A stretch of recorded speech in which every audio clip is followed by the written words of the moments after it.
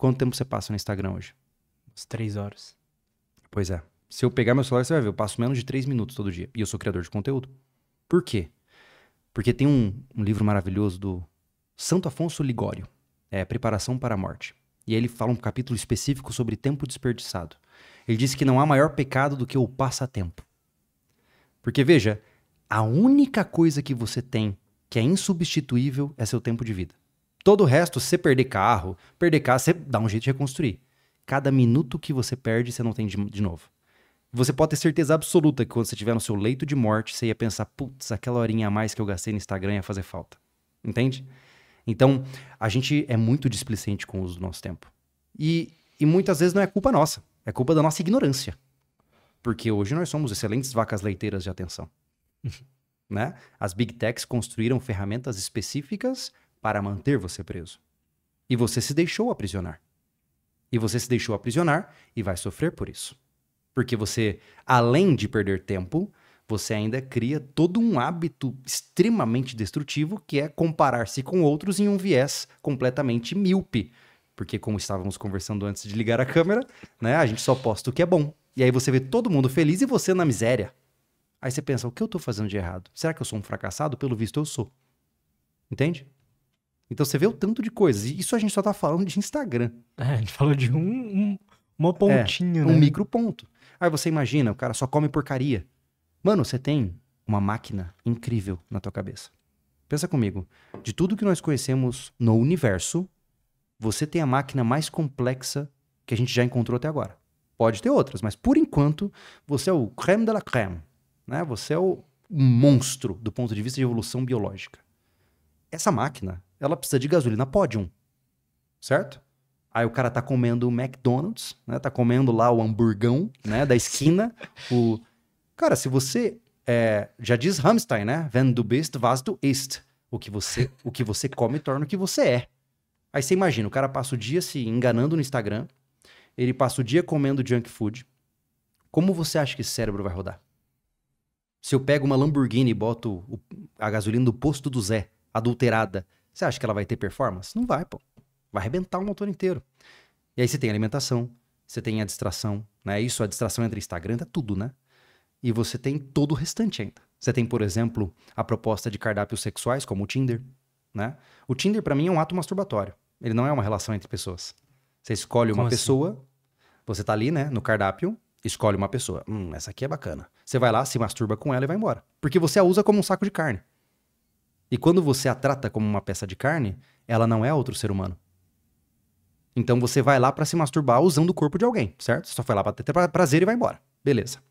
Só que isso gera um efeito colateral trágico. Você se acostuma a olhar para outras mulheres como sacos de carne.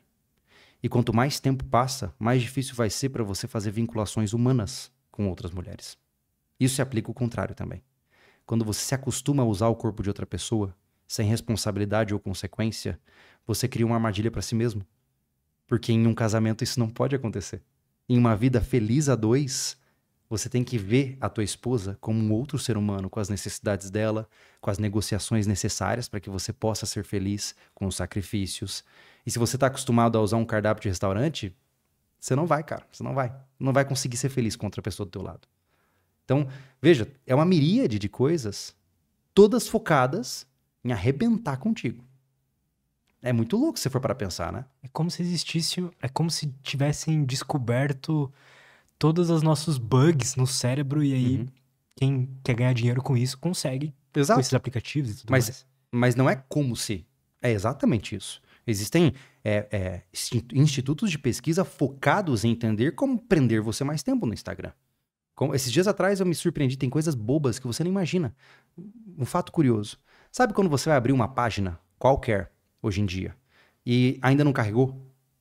Você já percebeu que os, os quadradinhos de cada coisa já estão disponíveis ali, mesmo que não tenham carregado? Uhum. Né? Meio que um, um, uma estrutura de layout. Isso é intencional. Eles descobriram que quando eles brotam esse template não preparado enquanto a página carrega, as chances de reter a sua atenção por mais tempo é maior do que se tivesse uma página em branco. E é tudo calculado, cara. Tudo. É impressionante.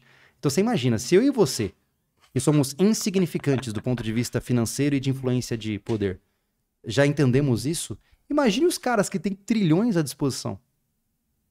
É como eu disse, nós somos excelentes vacas leiteiras. Excelentes, cara. Você hoje, ao usar o seu Instagram, você está enriquecendo alguém. Porque reza a lenda de que quando você não paga, o produto é você, né? Sem dúvida. É, e a, a, impressão que eu tenho mesmo, e até vi esses dias um. Talvez um dos.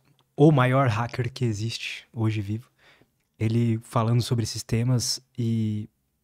E é realmente a impressão que eu tenho é que tá ficando cada vez mais difícil de eu desviar o olhar hum. do celular, sabe? É. Então, quando eu entro num loop de ver Reels, por exemplo, tá ficando cada vez mais difícil de eu conseguir me tocar que eu tô ali e, e fazer o que eu tenho que fazer. É, você imagina se o VR realmente decolar.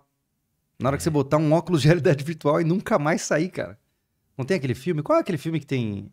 Enfim, tem um tem filme vários, né? recente né? aí que a molecada vive num jogo, né? É jogador número um. Isso! É bom. É, isso aí. O guri vive numa, num lugar todo arrebentado, é. mas tem uma vida linda na internet, né? E é isso que acontece. Quando você não tem um propósito na sua vida, onde você vai buscar isso? No lugar mais barato. Por exemplo, eu não tenho nada contra, mas um fenômeno é um fenômeno. Quando você, homem adulto, por exemplo, sente necessidade de ficar jogando a madrugada inteira, você não está só se divertindo. Você está buscando a sensação de pertencimento e de conquista que você não tem na vida real. Sem dúvida, sem dúvida. Entende? Quando você é, adora os filmes da Marvel, os, lá, os super-heróis, entenda que, por definição, gostar de super-heróis é um comportamento considerado infantilizado.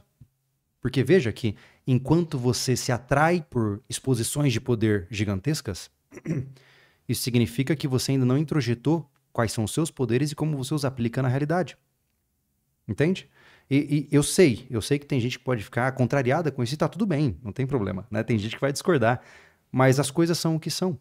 Chega um determinado momento, quando você vai ganhando maturidade, eu tenho certeza que talvez você tenha passado por isso, ou quem esteja ouvindo está passando por isso, que é você não consegue mais jogar tanto quanto você jogava. Sabe quando você Sim. tá sempre na expectativa de voltar naquela imagem dos 15 anos jogando alucinadamente? Você não consegue mais. Aí o cara fica triste, você tem que ficar feliz. Que significa que você sobrepôs o que o jogo te entregava com vida de, de verdade, com realidade. Entende? A realidade se tornou mais interessante para você do que o jogo. Isso é uma conquista. Se você assiste cada vez menos seriados porque você está fazendo um monte de coisas na sua vida, isso é bom. Porque você está cada vez menos na fantasia e mais na prática. E por que, que a gente não tem essa impressão? Por que, que quando a gente está na correria, jogando o jogo da vida, a gente gost... é, se sente mal por não ter tempo de. Vamos voltar à bússola. Vamos voltar à bússola. Que é: para que, que você está trabalhando tanto? Para comprar uma kitnet de 700 mil reais em São Paulo e ficar pedindo iFood para ficar no seu Instagram e um sofá de 10 mil reais? É isso que você chama de motivação? Sinto muito, não é? Você entende? Quando você vai na raiz, fica fácil de entender. É, sim, lazer é bem-vindo.